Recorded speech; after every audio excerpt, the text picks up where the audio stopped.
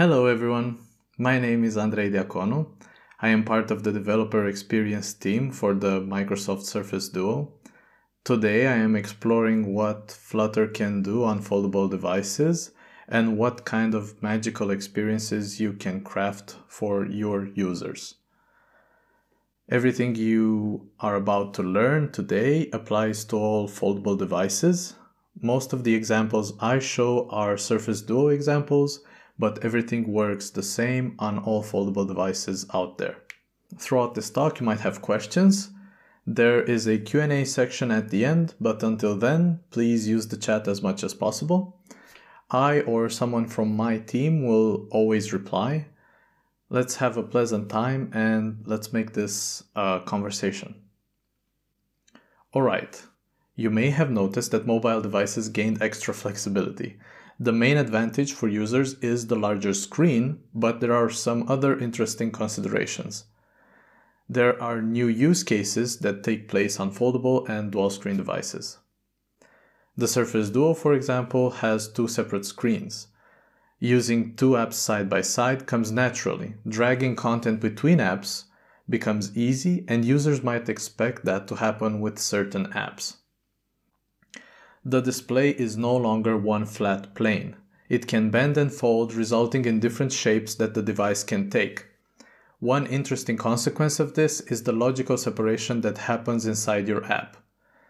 In this example, the top and bottom parts serve different purposes. The top part acts more like a monitor and the bottom part acts more like an input device. This is true for devices without a visible hinge as well. From this angle, the Galaxy Z Flip looks like a tiny laptop. Even if the screen is continuous, you can delight your users by doing something special with that posture. Look at what happens when I go from flat to half opened while watching a video on YouTube. My hope is that this talk helps someone in the audience create this sort of special experience. Let's see how these display features translate into code for us developers. First, I want to introduce a new term. The highlighted areas are called display features. These are areas of the display that your app needs to know about. These features sometimes prevent pixels from being visible or just curve the display. This is why you might not want to draw anything where the display features are on the screen. Your layout can avoid them or use them as a logical separator for your UI. So let's look at the Surface Duo again.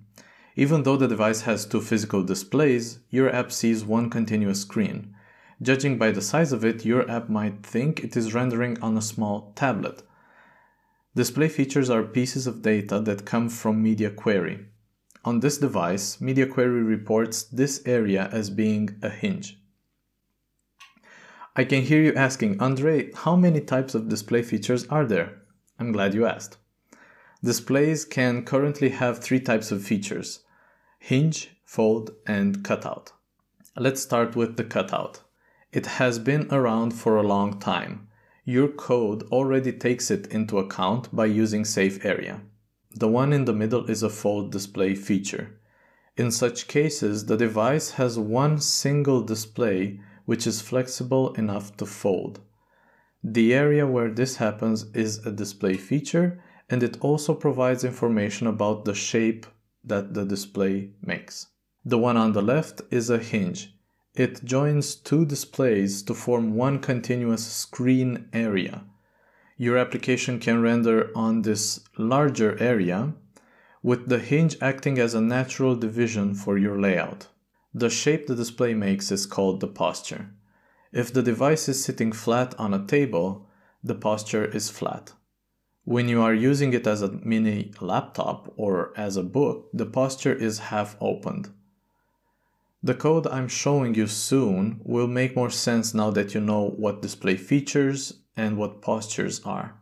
I will also show you a few new widgets that help your UI adapt to these new capabilities, but first, let's have a closer look at how this new data is structured. Media Query gets a new property, Display Features. The properties exposed by this class are bounds, type, and state. The bounds is a rectangle marking the area on the screen where the display feature is located. The type is an enum and can have the values hinge, fold, or cutout. The state is the posture. It is also an enum and can be flat or half opened. Note that a device can have multiple display features at the same time. Samsung devices usually have a fold and a cutout at the same time, for example. This is why Media Query exposes a list of display features and not just one display feature property. Let's go back to the Surface Duo. You might wonder what your app looks like on this device. By default, apps open in single screen mode. Your app looks and behaves just as expected. There's no difference from a single screen phone. Apps can open side by side and you can use both at the same time. You can even define app groups, a shortcut that opens two apps together. For example, imagine calendar and email opening together when you want to plan your week. This means that your app might not be the only one visible when it's open. Your app can also be spanned across both screens. Using this gesture, you can span any app. If an app does not look good or behaves poorly when spanned, Users can of course go back to one screen. We call apps that take advantage of this form factor enhanced. Please don't worry about your app not being enhanced yet. Users always have the option to unspan. When spanned, your app sees one single screen. This whole area is theoretically available for rendering. You do however know where the display features are your app knows there's something there. By using the Display Features API, you can offer users an enhanced experience. Here are some examples of enhanced apps. Outlook shows you a list of emails on one screen and the opened email on the other. Jira uses the whole available space to show you the sprint board. You can even drag and drop across displays. You don't need to do anything for that to work, by the way. The device drivers take care of everything.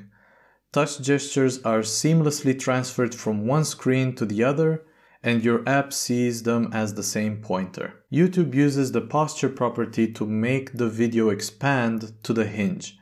This way the hinge becomes a logical separation point for the layout. So, what will your Flutter app do with the extra screen? Here are a few things that Flutter does for you already. Dialogues use the first screen to render.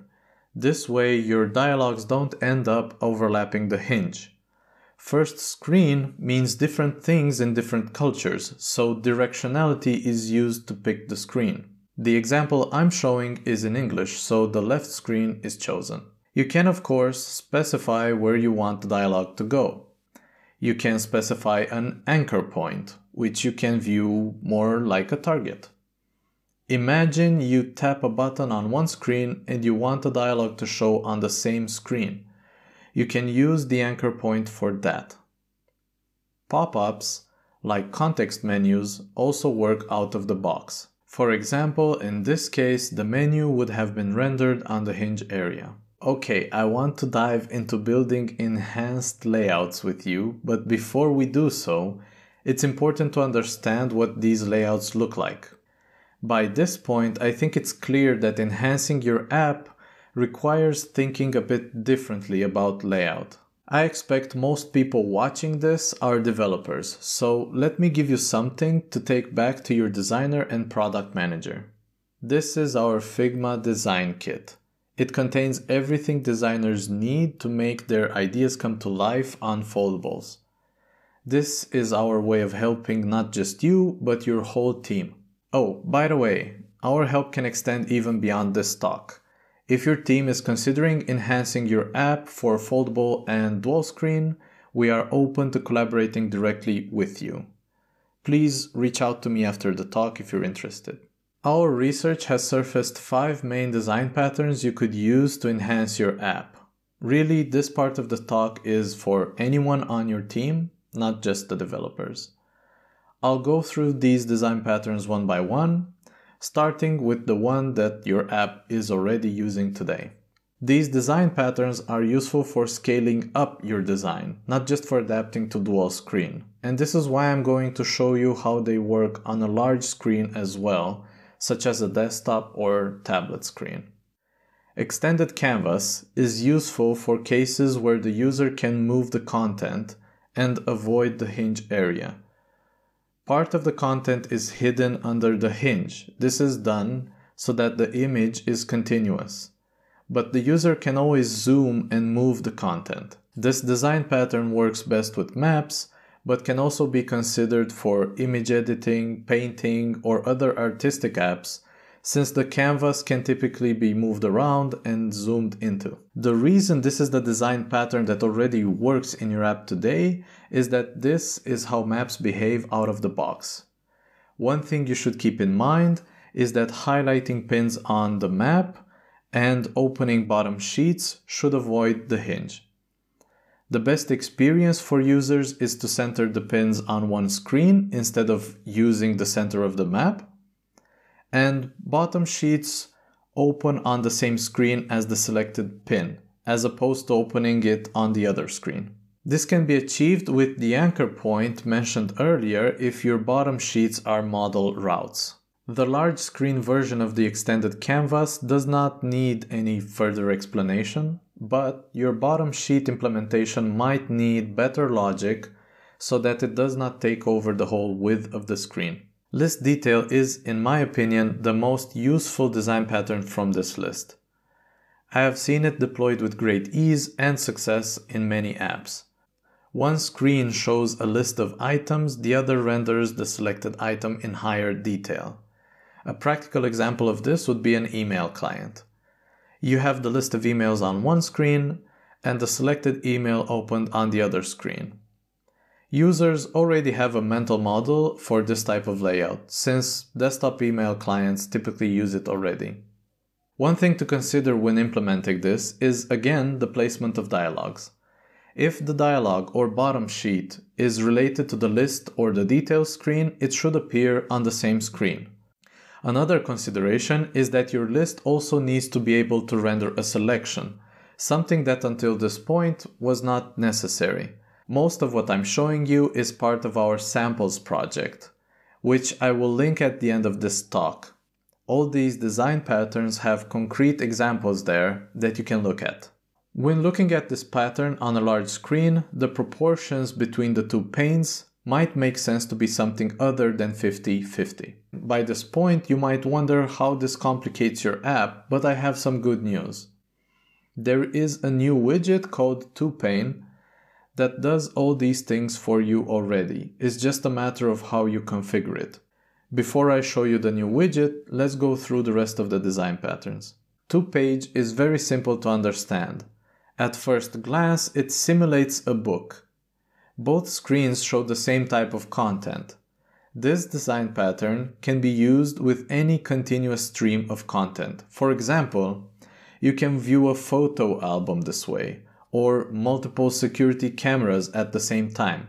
Foldables have a lot more screen real estate and the 2page pattern simply shows more of the same thing on the second screen. When we look at the large screen version of this, we see that it remains exactly the same even the 50-50 split continues to make sense. Of course, if the space is not large enough, showing only one page is more appropriate.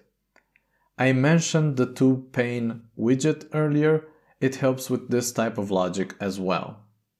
Dual view is all about different perspectives. You look at the same information on both screens, but represented in two different ways. Here we are looking at restaurants. One screen shows a list while the other shows a map. Both screens show restaurants. They could just as well be hotels or anything else that has a physical location. The analogy I like to use here is 3D editing software. It's hard to navigate 3D environments on a screen. So what they typically do is show you the same scene viewed from different perspectives, top down, front, lateral, so that you can successfully align your items in the scene. Such a 3D editing software would benefit a lot from this layout and the extra space foldables offer. Here is another example. Both screens show markdown text. The left screen shows an editor while the right screen shows the final render. If your app had to switch between editing and rendering something, this design pattern might be the easiest for you to pick up. When we look at this on a large screen, the only thing that might change is again the proportion between the two panes. Companion pane makes a lot of sense for supporting content, smart suggestions, or as with this example, previewing and modifying content at the same time. With image editing apps, users can preview their work on one screen and use the other screen for making changes. This gives your app a lot more space to work with. In this design pattern, you have the main screen where the user focuses their attention and the secondary screen which offers support. This becomes particularly interesting when the device is used in the half-open posture, making the bottom screen act more like a custom input device. You can recognize this as the design pattern that YouTube uses on the Galaxy Flip when the posture is half opened. In another example, the secondary screen could just offer extra information. You can even use it to offer tips or help. This is what the onboarding experience looks like on the Duo. You can see that the secondary screen is mostly used to support the main screen. This design pattern also makes a lot of sense on large screens, although again the split between panes might make sense to be different. We're now moving away from design and more into Flutter code. I will link the design kit at the end of the talk, along with some other cool things. I already mentioned the two-pane widget. This is a new widget that helps with scaling up your layout. All three images below are rendered using the same piece of code. There are a few other cases not shown here that happen when you rotate the device, but all of them are handled by two-pane.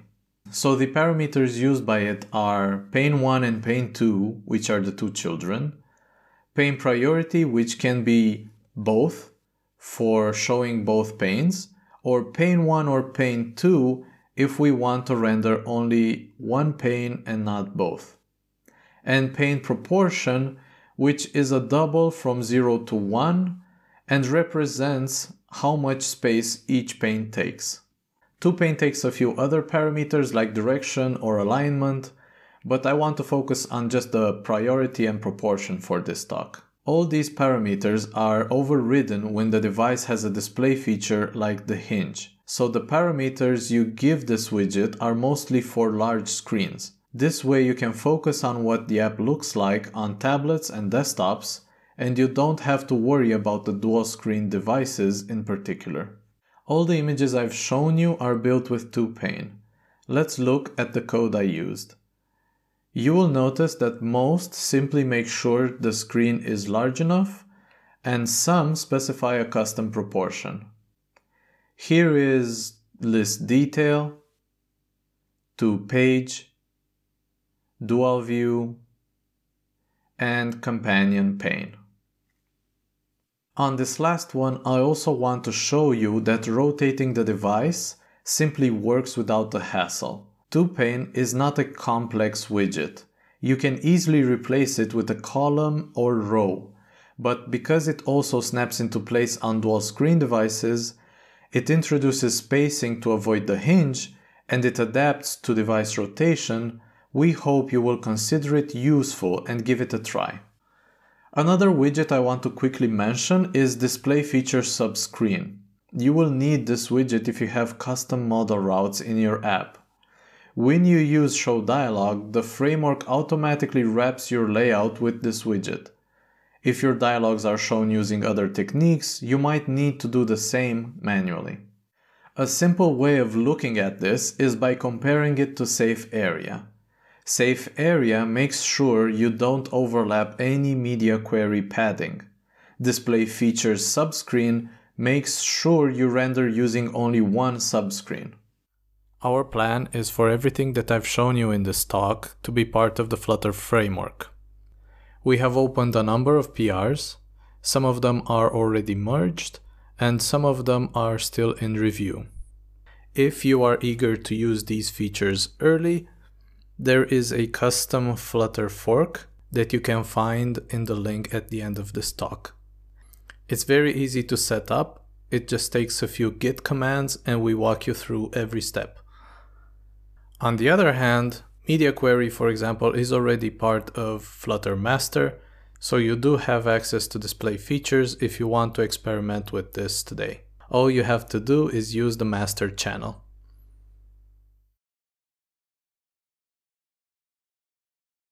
Alright, since we have enough time, let's quickly enhance a notepad application that I have here ready. The code is organized in multiple steps so we can quickly go through them. This is how the app looks like.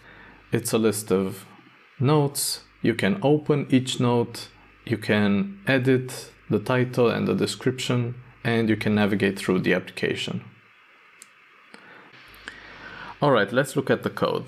So the building blocks are a note list that takes a on selected parameter and a note editor widget which takes a note index parameter. I won't go into much detail on how these are built. You can imagine and I'm sure you can build them yourself as well. They are very typical Flutter code. Alright, so what happens when we span the app? The app is not enhanced in any way, it doesn't know about the display features, and frankly, if you look at it, it's not a good UI to have on such a large screen anyway. A good enhancement for this would be to implement the list detail pattern, so I'm just gonna use two pane and give it a pane1 as a note list and pane2 as a note editor. This should make the list and the editor sit side by side, and it looks really good. But now if I unspan the app, TwoPane still puts the list and the editor side by side. I don't really want this because this doesn't make any sense. So let's see what we can do about that. Perhaps we can use one of the parameters that TwoPane has. So in the next step, we first want to make sure that the display has a hinge. We look at media query display features for this and then we use that information to decide if we show both panes or just pane number one. Let's have a look and see how this looks. So it looks okay on one screen. And it looks okay when we span it across both screens. Let's try to open a note. As you can see, this doesn't look so good. The note spans across both screens, when in fact I just wanted to change the selection on the second screen here. In this step we make our main widget be stateful and we make it retain the selected index. We change the index when a node is selected and we give that index to the editor. So in other words, when we're using both screens, we no longer use the navigator. So let's see how that looks again. As you can see, the selection on the right hand side changes. And if we unspan the app and select a note, this continues to function properly. Let's span the app again. The next step is purely optional and it's something that I just simply want to do. I want to have an empty state on the right hand side rather than just showing the first item as being selected by default. To achieve this, I make selected index nullable so that if it's null, it just means nothing is selected. I don't know, it looks good. Let's move on to the next step. Now, the list doesn't show you what's selected. There's a ripple when I click on stuff, but I want it to stay selected. To achieve this, I need to let the list know what's selected. And for this, I give it a selected index parameter, and this gets drilled down all the way to the item that's rendered on the list. If it's selected, then there's a blue tint. If it's not selected, then there's no background. Let's see how this looks. Okay, this starts to look more like an enhanced app. But there's one last thing that still doesn't work properly. If I navigate from the editor when I'm in single screen and then I span, I actually reach this weird state, which normally I shouldn't be able to reach, but I was able to do it because I can span and unspan the app. To fix this, I need to remove invalid navigation states, and this is a bit of a hack, I'll admit. I'm sure you can find better ways to deal with this in your architecture, but for this very simple app, I made a route that simply pops itself if it detects that it is on two screens. I call it single screen exclusive route. Let's have a look at the emulator one last time to validate that everything works correctly.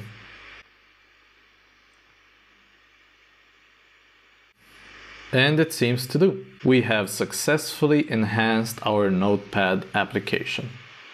I am reaching the end of this talk and I want to summarize what you should take home with you. First, please take the design ideas to your designer and PM. You can offer them the Figma design kit and see if they find it interesting. Second, all the emulator screenshots from this talk are from the Surface Duo emulator. It's free and we do our very best to make sure the experience is one-to-one with the real device. Where this emulator differs from the foldable emulators you find in Android Studio is that this one simulates the hinge area differently. The Android Studio emulators have continuous screens like the Samsung Galaxy Fold and Flip, and the Surface Duo emulator has two separate screens like the real device. Normally the emulator is enough for your team to be effective. But if for some reason your app needs to be tested on real devices, please contact me and I will see what can be done to help you test. This is the link and QR code to everything I just mentioned. By the way, our team offers the same level of support for all other frameworks as well, including native Android, web, Xamarin, React Native, Unity, even Jetpack Compose. Our team is friendly on the internet and, among other things, hosts a Twitch show and also writes blog articles. If you want to be in the loop with our team, please follow us on Twitter. My call to action for you is to install the emulator today, give your app a run, and then let us know how it went. Thank you very much for paying attention. See you at the Q&A and on Twitter.